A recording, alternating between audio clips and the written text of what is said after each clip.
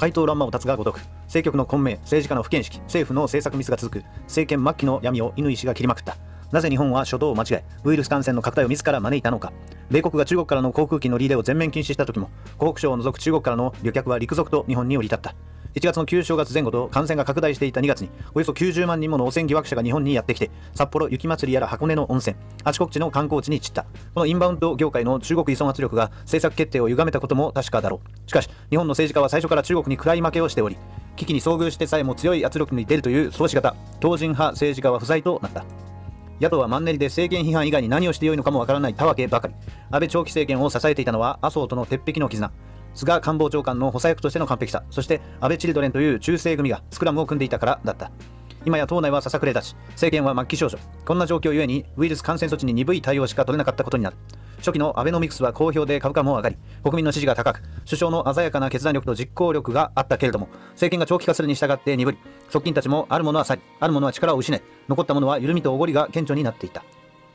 安倍政権の中枢を支えた3本の矢がバラバラになった。菅義偉官房長官今井直也首相補佐官そして八千翔太郎国家安全保障局長の絆がもろくも崩れ中国問題で八千が辞表を叩きつけ今井は二階幹事長の訪中にお目付け役でついていったが役目を果たせず自民党内の数勢は中国大好き幹事長が主導。すっかり親中路線となって安倍は日中新時代だから一帯一路に協力するとアメリカの神経を逆なでする源氏を吐くようになった。つまり価値観外交を捨てて中国にすり寄ってのバランス外交に安倍首相が乗り換えたからだと乾氏は指摘する。背後には財界の親中路線の突撃。党内は親中派が圧勝し靖国神社参拝などできる相談ではなかった。つまり初期の求心力は失われた。安倍を院外で支えた保守系の人たちが一斉に離れた。最後まで中国の旅客機乗り入れを決断できなかったのは4月にぶら下がっていた習近平国賓訪日だったのだ。そして東京五輪という10月が重なりその間にも中国からの入国が続いていた。ニューヨーク・タイムズが東京五輪を中止せよと論陣を張り1年後に延期となったが直近の報道では森喜朗が五輪が戦争時期に中止されたことはあった。今は戦時であるとなんだか来年の五輪も中止するような示唆的発言を繰り出した。コロナ災禍の言及は中国だが日本でもここまで被害を拡大させたのは政治家と官庁そして財界。中国に甘い報道しかできない大手メディアの責任である。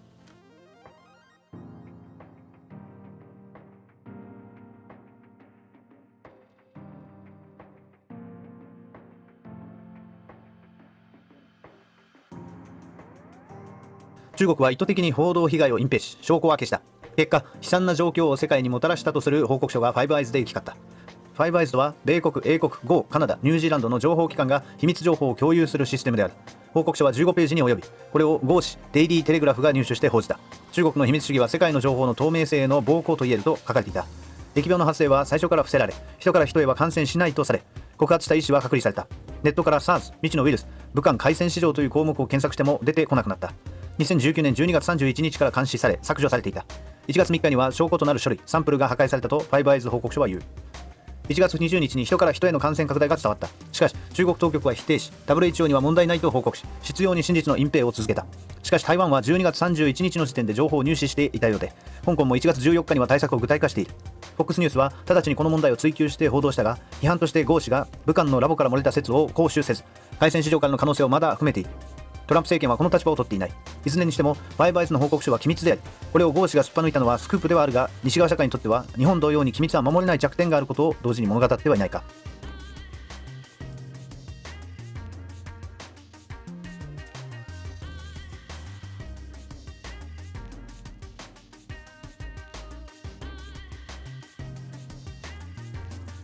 ウイグル問題の直接的な発端は2009年6月25日に遡る。広東省商館にある玩具工場で韓族男性がウイグル族の女性従業員を乱暴したという事件をきっかけにウイグル人従業員が抗議。それが騒動となって大乱闘。2名が殺害された。情報はすぐに新疆ウイグル自治区に伝わり省都のウルムチで学生たちが抗議行動を開始。警官が出動して発砲。公式発表では192名が殺され1721名が重軽傷を負った。ウイグル亡命組織は数千名が殺害されたとした。西側メディアは一斉に中国の血の弾圧を批判した。さらなる弾圧を恐れた学生。労組指導者らは隠れ家を求め一部は隣のカザフスタンへ逃げ込んだ。チベット弾圧で悪名を馳せた陳全国が2016年8月に新疆ウイグル自治区の初期に任命されここからウイグル族への無慈悲な弾圧が強化された。100万人以上の強制収容所を砂漠に急遽統制し事実上の監獄を再教育センターとか職業訓練所と称してウイグル族を片っ端から収容した。署内では看護の強制豚肉を食べさせウイグル族の文化的背景イスラム教の影響を抜き取り漢族風に洗脳する目的だった。実際に収容所では中国語を教え中国の法律を叩き込みその上中国共産党の施行する愛国教育を徹底させた。その一方で法制メカニカルエンジニアリングからホテルの清掃のやり方までを教育訓練した。反抗したウイグル族が相当数拷問され収容所内で死亡した。これらはその後亡命に成功したウイグル族女性によって米国議会の公聴会の証言でも明らかにされ米国の人権団体の抗議を超えて議会は超党派での中国への批判を強めた。トランプ政権はウイグル弾圧に用いられたとして監視カメラ顔面識別 AI 技術を製造するハイクビジョンなど中国企業の28社を EL リストに加えて取引停止とした。ペンス副大統領の2度にわたる対中批判演説にはこれらの裏付けがあった。ウイグル族の他省工業地帯への移動は安く酷使できる労働者の増強という目的に加えてウイグル女性との漢族男性との結婚奨励形を変えた民族浄化にあった。結婚は半ば強制的だったと多くの証言がある。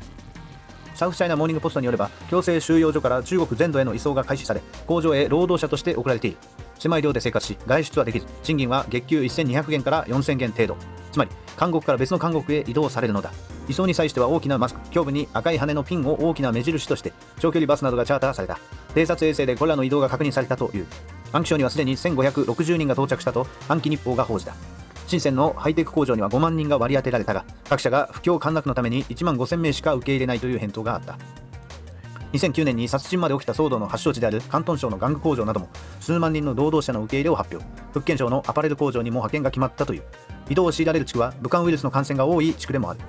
GO のシンクタンク GO 戦略政策研究所のレポートでは8万名が移動したとしまたウイグル収容所の卒業生を労働者として受け入れたかこれらを受け入れる企業名には Google、マイクロソフト、アップル、シーメンス、ナイキ、ラコステ、サムスン、アディダスほかユニクロ、ソニー、三菱の名前を挙げている。また欧米の偵察衛星はウイグル自治区でイスラム教の墓地が整地されブルドーザで急遽促成された小さな墓地に移されているという。地元住民はご先祖の墓がなくなり新しい墓場は画一的な同じサイズの墓で誰が誰の墓なのかわからないと不満の声を上げている。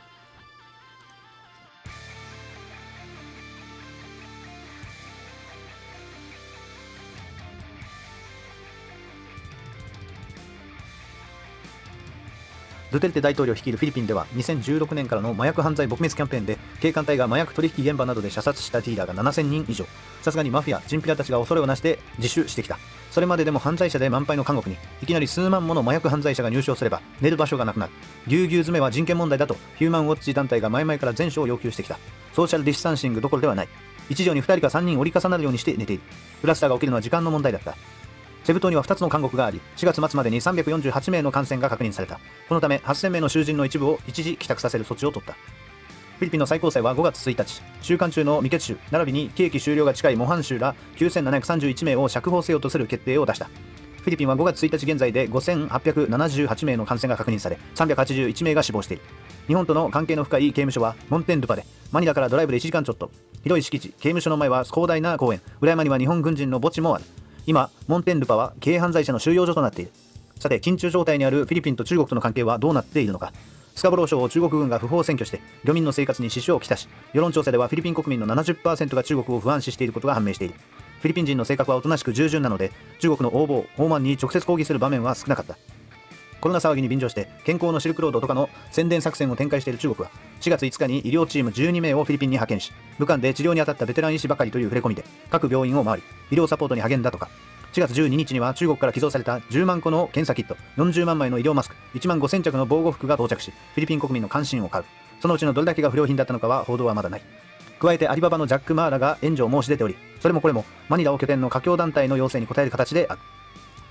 チャイナタウンは世界の中でもマニラが一番古い。華僑は金融物流を牛耳ってフィリピン国民から打活のように嫌われているからだ。マニラの華僑の中にはウイルスは米軍が持ち込んだという攻略報道を真に受けている者もいる。在日中国人の間でも米軍持ち込み説が流布されており在日留学生に張り巡らされたスパイ網は留学生らの言動を監視しているため堂々と反論する在日中国人はほとんどいない。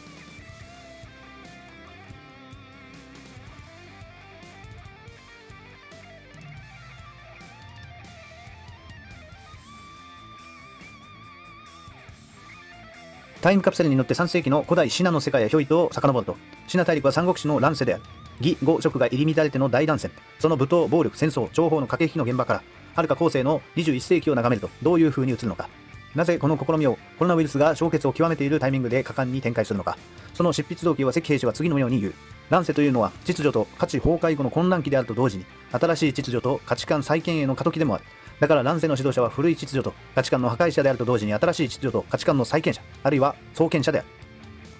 三国志ファンが多い日本では吉川英治の翻訳小説もあれば横山光輝の漫画もあるほど人口に開演している。北方健三も三国志に挑んだ。いずれも日本人に分かりやすいように翻訳されている箇所が多い。そういえば司馬遼太郎の幸雨と劉邦にしても史実からはぶっ飛んで日本の何は節的な心情のひだをルルまとっている。さて日本人が三国志と思っているのは実は小説の三国志演技の方で史実とはかけ離れた物語である。典型例が不出世の英雄曹操が悪人となって邪険に扱われており優柔不断の劉備は日本人の好む英雄に美化された。軍師だった諸葛孔明が失敗した作戦が多いのに天才軍師と書かれている。大暴れを演じた関羽。いつしか中国では金儲けの神様となって各地に関羽廟が建てられ厚く祀られている。いずれも勘違いから生じたことだ。それはともかくとして関英氏は孔子の論語に通行し儒教に造形が深い。さらに北京大学で哲学を学んでいる。トランプと曹操は似ており劉備は日本人的だという。ならば習近平は誰に似ているのか。この謎解きをここで種明かしすると営業妨害になるかもしれず回答は本書に当たっていただきたい。さて中国史の特質の一つ。疫病の流行は必ず大乱を弱気することである。平和な日常と安泰が姿を消してまるで戦時状態のような混乱と強行が目の前に出現しかつて経験したことのない世界規模の大乱世の到来だと関兵士は言う。マスクを外国に寄付したら不良品欠陥品だったので送り返された。ところが中国国内では地方政府同士の間でマスクや薬などの緊急物資に対する争奪戦が堂々と展開され A 地の公安局が警察投稿者を出動させて B 地警察の手から救援物資を奪い取るというような事件まで起きている。乱世にはリーダーシップの質が問われるのは古今東西変わりがない。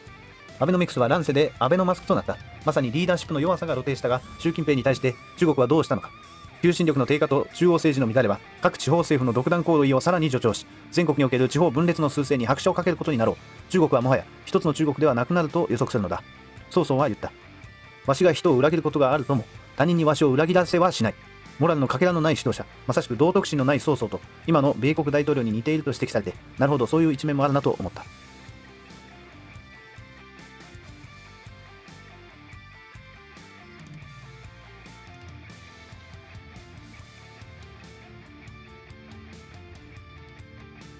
記事でカフカス人のことが話題になっておりましたので参加させていただきます。セッチョ、モンゴル力士はなぜ嫌われるのか、日本のためのモンゴル学のこの本には、朝青龍はなぜ強いのかの題名を変えた再刊本です。以下引用です。地球上の人類を骨格、皮膚の移動、毛髪、血液型など形質的特徴によってコーカソイド、ニグロイド、モンゴロイドに三大別する人種区分という考え方が生まれたのはドイツの人類学者ブルーメンバッハが初めてである。実は彼はコーカソイド、ニグロイド、モンゴロイドのほかアメリカ先住民とマラヤ人を別の人種と考えて人類を五大種族に分類した。その後研究が進み、アメリカ先住民と太平洋のマラヤ人もモンゴロイドだということになったので、コーカソイド、ニグロイド、モンゴロイドの三大区分だけが未だに使われている。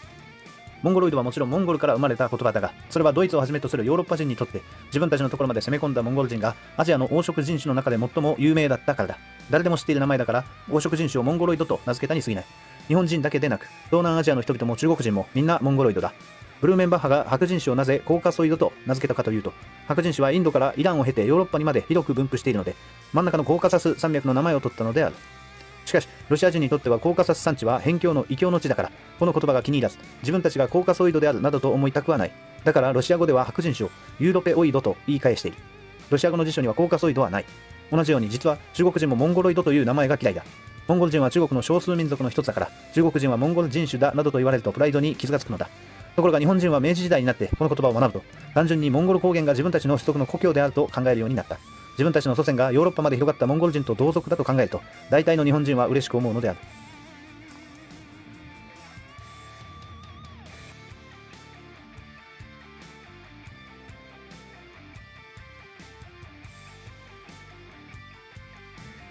中国はステルス型の戦略爆撃機 H20 を完成させ11月の主海航空ショーでデビューさせる予定だとサウスチャイナモーニングポストが報じた本当の話かいやそもそも11月に航空ショーなど開催できるだろうか第一にステルス型、つまり忍者のように敵レーダーから逃れて長距離を飛行できる代物中国が保有したことになるが、この話がもし本当なら、日本の米軍基地からグアム、フィリピンを越えての攻撃が可能になる。米軍はすでに空母をグアム伊東へ戦略的交代させており、ステルス爆撃機 B32 など、本土中西部のノースダコタ州の空軍基地へ移管する。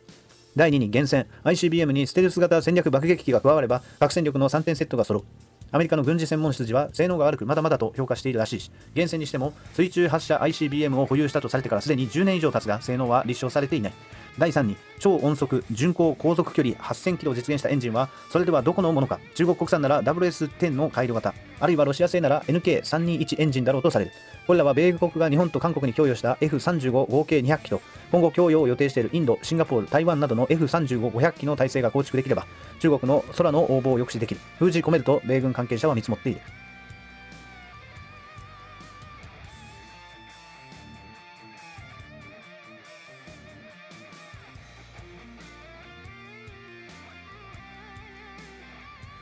マーシャルプランで米国が援助した金額を今日の貨幣価値に置き換えると1450億ドルに相当するという。中国の BRI のそれは1350億ドルと見積もられる。ドルマン政権で国務長官を務めたマーシャルはドイツを永遠の農業国として立ち上がれないようにする当初の計画に基づき。まずは食料援助エネルギー援助を基軸とした。ところがマーシャルプランに対抗してソ連がモロトフプランを打ち上げ。マーシャルプランに参加を表明していたチェコとハンガリーはソ連の強い横やりを受けて不参加となる。結局東欧ブロックはソ連のブロックのコメコンに吸収されていく。鉄のカーテンが敷かれ東西冷戦が開始されたからだ。この歴史の変遷を教訓に中国は中国版マーシャルプランを展開し世界の市場のみならずアメリカに代替する影響力を確保しようとした。覇権追求が BRI の裏側にある基本的戦略だ。しかし中国のやり方は相手国の政策決定者への賄賂。物資機材の横流し現地人を雇わず中国から囚人を連れて行き入札は中国企業が落札し現地には何も悲劇しないという中国による中国のためのプロジェクトだったことが分かり世界中が反発した。貧困な国々は借金の罠に落ちその利払いだけでも経済を苦しめることになった。すなわち BRI は中国外交の宝石だったがそれが世界の破局を導いたと総括するのは米国外交評議会のレポートである。同評議会のベンスタイルとデラロッカの共同執筆の形をとっている。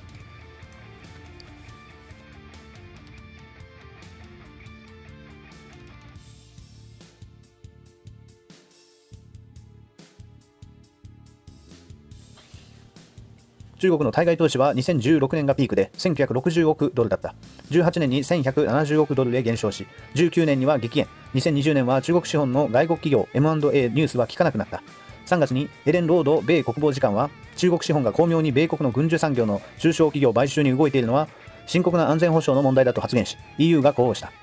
マーグレセ・ベスティサー EU 競争委員会コミッショナーは中国関連株の投資を抑制しなければならない。また中国資本が EU 域内のヘルス、バイオ、医療品企業の買収に動いていることに警戒すべきであるとした。EU は17もの投資関連規則を改正し、ハイテク、エネルギーに加えて生活の基本を構成する分野、並びにコロナ災禍で露呈したマスク、医療品、製薬分野における中国の株式投資、あるいは買収を厳格に規制するとした。オーストラリアのジョン・フライデンバーグ財務大臣は、某企業で経営難に陥ったところが狙われている。某は法改正が必要となったと警告した。インドは4月17日に中国を名指し、買収の規制強化に踏み切った。駐デリー中国大使は、これは自由で公平な貿易に違反するものだと反駁した。他方、中国債券へのオフショア市場における投資は活発であり、2020年3月末現在、3190億ドルが外国籍のファンドから投入されている。さて、トランプ大統領は公的年金の投資先から中国企業株を禁止すると発言した。500万人が加盟する米国の公務員年金の規模は5580億ドル、世界の有料企業およそ3000社の株に投資している。ポートフォリオ全体は MSCI インデックスに反映するが、中国の銘柄は香港に上場されている196社、全体の4.9%である。トランプはアリババ、テンセント、中国建設銀行などを組み込んだ年金ファンドに対して中国銘柄を規制すると示唆したわけだが、市場の反応といえば、シェアも少ないし、投資している金額が少ないので甚大な影響はないと、滋賀にもかけない風情である。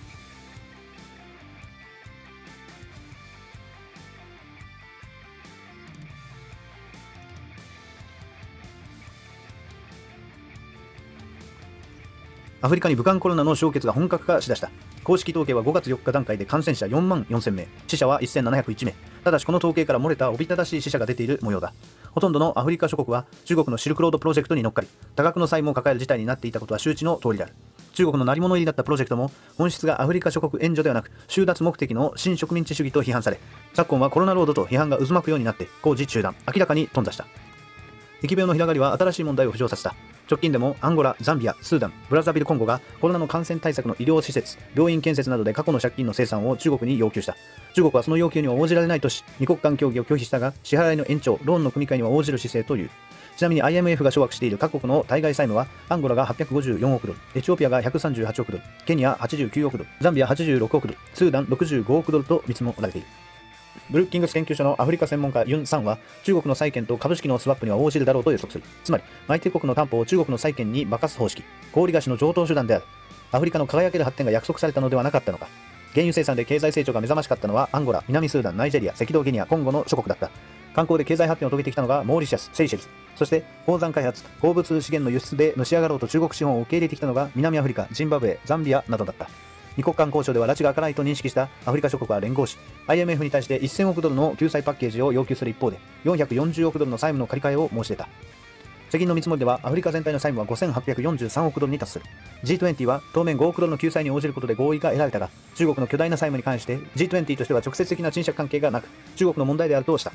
中国はアフリカの49カ国に合計1430億ドルの債務があると。米ジョン・ホプキンス大学は見積もる。社会系で中国に対しては強硬な態度で知られるテッド・クルーズ米上院議員は米国は中国の成した借金外交とその結果には無関係でありアフリカの債務処理問題に介入の必要はないと発言している。前途は暗い